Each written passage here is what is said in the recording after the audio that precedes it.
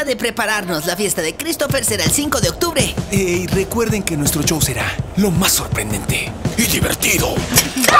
Niños, ¿dónde estaban? La fiesta será en pocos días. Maestro Splinter, ya comenzamos a entrenar duro para ese día. Así es, así es. ¿Qué? ¿Apenas comenzaron a entrenar para su show? No le creas. Silencio. Falta muy poco. Perdón, pa. Estamos muy nerviosos y queremos que todo. Ok, déjenme ver si entendí. Christopher cumplirá nueve años este 5 de octubre y ustedes se presentarán en su fiesta con un show súper divertido y están nerviosos porque no conviven habitualmente con humanos. ¿Es correcto? Que no pudiste sí, haberlo hecho sí, mejor. es que ya falta muy poco.